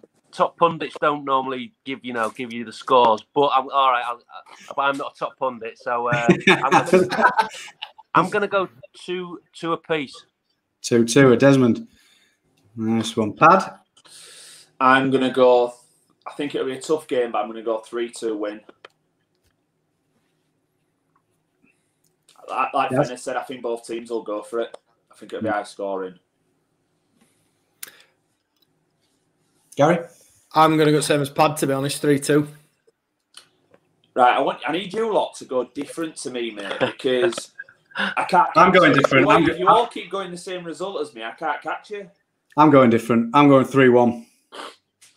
Three one think, Impressive. you're, I think you're right. I don't. I think. I think teams will. I think there will be a few teams who will now start to try and dig in. I don't think Leicester are one of those teams, um, but I think we will benefit from them from from football teams who want to play football against. back. No worries. Um, who want to actually play uh, play the game? I think it, it just it suits the start our style of play. Yeah. You know, the, the one the one game where we got frustrated, which was the Wolves game, and it just didn't come off for us. uh, Was it final ball and things like that? Just didn't drop for us in the box, and they came with a bit of a bit of a mission, didn't they? They want to, you know, defensively very solid, and they just soaked it all up. Yeah, I do think it'll be a good game though. I think when you look at the likes of Leicester when they played Man City, they, they are exciting, aren't they? They do play on the shoulder, and I think for me the key battle will be Robin Koch if Vardy starts because obviously Koch is obviously quite pacey, isn't he? So you'd be looking at him to try and nullify Vardy going in behind, but obviously Vardy's quite streetwise, isn't he? So you've got to be Yeah. careful, especially in and around the penalty area. But I think that's I'll the key what- battle for me.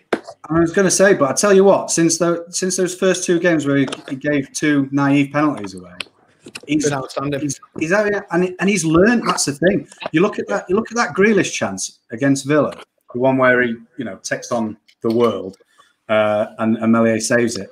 At any time, he's just dying for one of those players to to stick a leg out and bring him down. Yeah. Everyone, but they, we just don't. We, we, it seems like we've now gone. Now, hang on. Like at this level, you're going to get penalty against you all the time, um, and we just seem to be really kind of wise to it.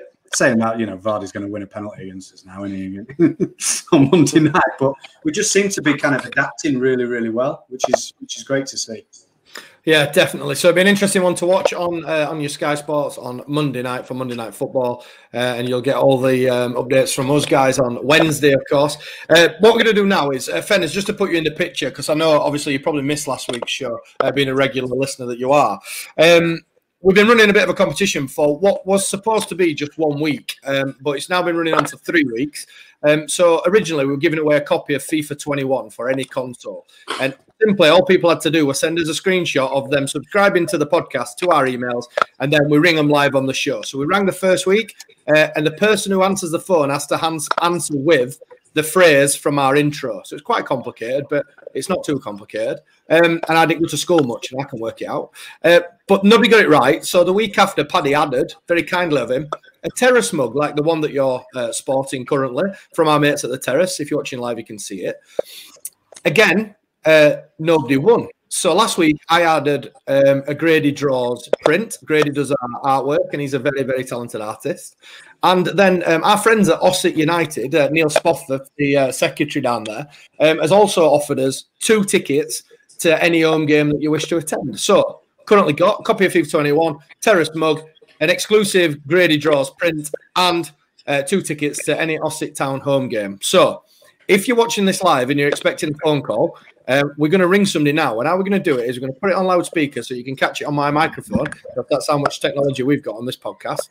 And hopefully, if they answer with, um, and the winner was scored by Carl Shutt, who came on as a substitute, and tomorrow's his birthday, then they win the prize. Do you So want me to? Do you want me to chuck a prize in as well? Oh, if you want, Fenners, yeah, if you want to chuck a prize Nah, in. I, ain't got, I ain't got now, mate. Right, Um, no, no, you could, you can just post me a post me a snot rag. Somebody like that. I haven't got, I haven't got one, obviously. I'll tell you what, I, I'll do you a nice, um, I could do you a nice, uh, hang on one sec. Oh, hello. Oh, it's get tasty now. Yeah, Ga- Ga- Ga- Gaz is thinking, how can I enter? How can I enter? Ga- Gaz is going to phone his missus. Mate, literally, when I finish this podcast, I'm going to go sit in garden a minute and just have a word with myself because it's been an absolute nightmare. Honestly. Guys, we nearly didn't have a podcast because we didn't set up the stream right. Yeah, exactly that as well. I thought I had a, I thought I had a t-shirt, uh, a Brad Bobley t-shirt. Oh, Oh, oh never too good to give away as a prize. We'd won that. Yeah, when Sesson does that, don't give it away. Anyway, so shall we give the person who. Oh, well done. What's he got? Everyone who loves Fenners is closed now. This is and just brilliant. Try to subscribe, aren't they? Yeah, open it to the Stone Island coat or something. Got that, uh, got that Liverpool t-shirt. If anyone's just any Leeds fan. Any Leeds fans go to Liverpool. Hey, listen, Christmas is coming up. You never know. Uh, Got hey, Brad Bobley, Yeah, look at class. that. That's class. Yeah, That's good. good. That. So there you Gaz, go. Pro- one. Gaz proper wants that look. I was going to say, As long as your initials are SB, Fine, we can work with that. Yeah. that was Wait that then. was that was sent for Sa- uh, that was sent for Saïd Benrahma. Right? is it? Yeah, but he didn't want it. So he gets he gets one every week, doesn't he? Because he's that good. He's like Oh, yeah, yeah, he's true, making yeah. for fun. So sorry. Anyway, Right, so let's give this individual a ring and let's hope that they get it right and then we can end this terrible competition. So here we go. Pressure's on here, lads, in it again. Yeah. what's he got to say? That's not a good start, is it? Every week.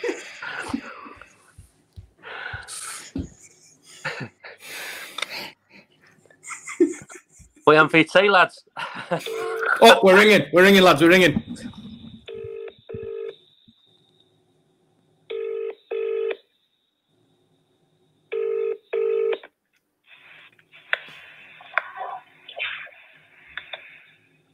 Carl Shutt scored the winner with a minute left to go, and tomorrow is his birthday. Yes! Yes! We have a winner. Josh Smith, congratulations. You are the winner of a Saïd Benrahma Brad Bobley t shirt that Fenners has just chucked in, an exclusive Grady Draws print, a terrace mug that Paddy's going to buy, and a copy of FIFA 21 to any console that you desire, as long as it's not a new generation one, because we can't afford that.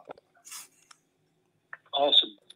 Congratulations, mate. Uh, obviously, you'll have my number. If you want to send me your address, then we will get the stuff to you. Cheers. Thanks very much, Gary. Sounds No, good. no worries, mate. Nice one. Take it easy. Cheers. You too. Bye. That's it, lads. We have a winner. Uh, Mr. Josh Smith wins, and he, he executed it quite well, to be honest, didn't he? I could hear him rustling the paper that he'd obviously written it down on when the phone rang. But fair play. I like it. He drew out the suspense, didn't he? He's Yeah. yeah. Oh, no, I like what he did. No, he's, he's done well there. He's done well there. Um, Nice, I better nice not. and punchy, that isn't it? Nice and punchy, that uh, little. Yeah. I, I'll, I'll not mention. I'll not mention the person Wow. who are next on list. Will I? That'll be uh, pretty pretty brutal. So, and then just watching all these followers just disappear off the stream now, which is nice as well. All the people No, tuning no. in to see they're gonna win. all they were here for. Yeah, pretty much, mate. Pretty much. Uh, anyway, before we move on to our favourite segment, Shithouse of the Week, uh, in which some quite familiar faces uh, feature on the Shithouse of the Week, um, we better mention again one of our other fantastic sponsors here for every other week. Um, Athletic Ben's Athletic Mention. Obviously, Athletic Ben's not here, but we'd like to mention the guys from the Athletic who come to support us. And uh, for this uh, early start to the season, you can get a subscription of Athletic for just a quid, which is very cheap. They've got um, a lot of decent podcasts on there. Obviously, not as good as this, where the internet drops out all the time and there's loads of rattling and phone don't ring and all them other little like you know idiosyncrasies. But they've got loads of good stuff on there and a team of extremely talented top writers, including our very own Sir Philip of here, uh, formerly of the YEP, but now of the Athletic, uh, giving us amazing Leeds coverage. Uh, ben picked a couple of articles out um, to go and check out. Uh, one was uh, Bamford under Bielsa, which is talking about Patrick Bamford's journey to playing under Bielsa, mentioning being left out by uh, teams and not being happy um, with certain managers and stuff like that.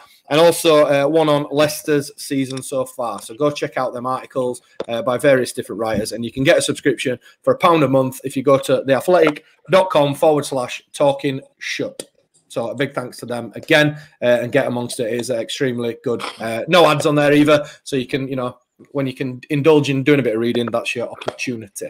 So, moving on to shit house of the week for you, Fenners. I'm sure you've heard it before when you've listened many times before. We nominate um, a couple of people, but then one winner who has uh, plagued uh, plagued our week, upset us uh, for whatever reason, um, and yeah, we give them a we give them an award that we haven't quite got around to buying and sending yet, but we'll get there. Uh, so, nominee number one in a in a first time event myself for suggesting Patrick Bamford should get substituted in our WhatsApp group on uh, Friday night. Uh, Frank Lampard for saying he's been treated differently because he's an English manager to Big Six club. Um, I've not actually seen that quote, so I can't give any context to it, but we'll have him in there. Uh, Tyrone Mings for manhandling Patrick Bamford off the floor after uh, stamping, not stamping, but falling on his ankle. And um, Jimmy Floyd Hasselbaink for um, his interesting punditry skills, shall we shall we put politely. So I'm having that. So lads, who do you think should win it? We'll leave Fenners out, obviously, because um, there's maybe some twisted loyalties here. So Oh uh, no, coming- no, no! I'd, I'd like to get involved. Oh yeah, go on then, Fenners. Yeah, great. Um, so coming to you first, and Rags, who do you think should win Shit shithouse of the week? Me, Frank Lampard, uh, Tyrone Mings, or Jimmy Floyd Hasselbaink? Well, I, I straight away think you. yeah. You were getting my vote as well, mate. just because, uh, yeah, I remember, I remember seeing the comment to be honest, and I thought it was just coming up to half time, and I'm thinking we, we're the better team here. I don't think we need to change anything, to be honest. And I think I responded with that. I was like, no, we're all right. We, we're doing well. Um, and then obviously, especially when the third one went in, I think I just texted in. I said shit ass of the week for even thinking about it. To be honest, so uh, so yeah. Um, I tell you what, the, the Mings incident. I think he's really, I think he's really lucky that VAR and got involved in in that as well.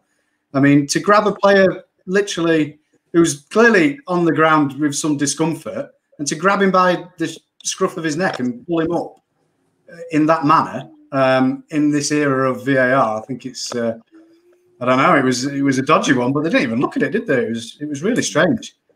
Um, and for him to play in a in a Villa side that you know quite likes a bit of uh, bit of diving and everything like that, why did he get so irate about a player that he thought had died? Which Bamford didn't, by the way. He, you know, he just he just trod on his uh, having a bit of a. she's way up past bedtime, and she's just decided to have a bit of a paddy. Right? Way past my bedtime. so yeah, I'll just, I'll just, I'll just, I'll stop talking now. Paddy, who do you want to get to, Pad? I'm going to go you, mate. I think the other ones, I think Hasselbaink, I kind of switch off when he when he's on. He annoys me at the best. Of he annoyed me on the when he, would, he talks about Bamford and stuff. I just don't really switch on to it. Lampard doesn't really affect us at Leeds, and Mings, I'm quite glad he did it because it unleashed like some sort of hidden hulking Patrick Bamford, didn't it? So, um, and plus you're on the list, mate. So I think anybody else could be on that list, and I'd still vote you. So it's you, it's you mate. Cheers, mate. Thanks. And uh, Fenners, um, do you have a? Do you know? Do you, do you want to vote for me as well? Yeah, if I can, yeah. Yeah, sound. So, uh, so it's, it's unanimous then in, in a first time event on Talking Show. I am shit house of the week. Congratulations. I feel well, different. Well. Thanks. Yeah. Um, won't be the last minute. No, it certainly won't be the last for sure. uh, right, moving on to obviously taking the tongue well out of the cheek and moving on to nicer things. Uh, former guest of the show, Tom uh, Clace, uh, obviously played with Paddy at uh, Tadcaster. Uh, him and his missus, Leah, sorry, I didn't catch your surname, but um, in the times that we've seen a lot with Marcus Rashford uh, talking about school meals for kids and things like that, and obviously the political uh, storm that has occurred off the back of that, Tom and his girlfriend have been offer offering um, kids free pack lunches to the point of even delivering them themselves as well. So um, it's plastered all across his social media. So go check him out. We'll retweet it when we get off and share it on our Facebook and Instagram and all that type of stuff. But do you know what? Um, doff of the cap to Tom. That's absolutely top class in these current times. So um, yeah, well done, Tom. Top top man. He's open as well. If you are if you if you are struggling or know someone who is, just drop him a message they're making the packed lunches, and yeah, he is delivering them as well between I think twelve and two o'clock, I believe, at the time slot he's doing it. So he's making them from scratch. He's funding it all, paying for himself. So yeah, that's just what he's like. Good guy. Yeah, so absolutely top class. Go check it out. And like I said, we'll um, retweet on our socials and all that type of stuff. Uh, start wrapping up the show now. Um, thanks for everybody who's brought in all the comments. Uh, but before we leave, we better hear from another one of our sponsors. Uh, and this one is the, the team who sent Fenners his personalised Sea Dogs Scarborough mug that you may have seen him drinking from. One person even commented saying, Is it bottomless or is someone filling it up off camera? I'm acting. Uh, like a, like a coronation street where they're pretending to. like a, like a true professional. Uh, so, if you want yourself uh, uh, your own personalised mug with Christmas coming up, and I've just seen a lovely little one they've done where it's like the back of a mum and a daughter, or a dad and a son, or a mum and a son, or a dad and a daughter, um, walking hand in hand towards the game wearing your team's colours. Uh, go check them out um, at theterracestore.com. With Christmas coming up, there's loads of great stuff on there. Mouse mats, cushions, all uh, personalised to your uh, your team's lights.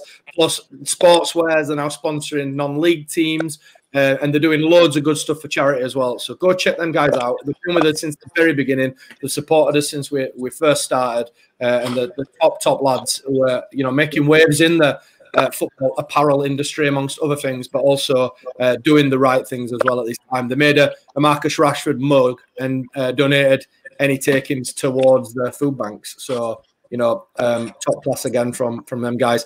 Go check them out um, at terracestore.com. Uh, and again, if you check out our socials, if you can't find them, we retweet loads of their stuff on. Um, so, after what feels like a complete shit show of a show, I'll be really honest from my point of view. Uh, I have to thank uh, Fenners for his time on this uh, Wednesday evening. Uh, Fenners, uh, a massive thanks, mate, for coming on uh, to the podcast and sprinkling it with a, an hint of professionalism and a little bit of snot. It's been an absolute. I, I've enjoyed it, lads. It's uh, it's nice to just um, it's nice to just have a bit of a natter and uh, and, and you know in a nice casual style. And next time I will certainly bring my Kleenex.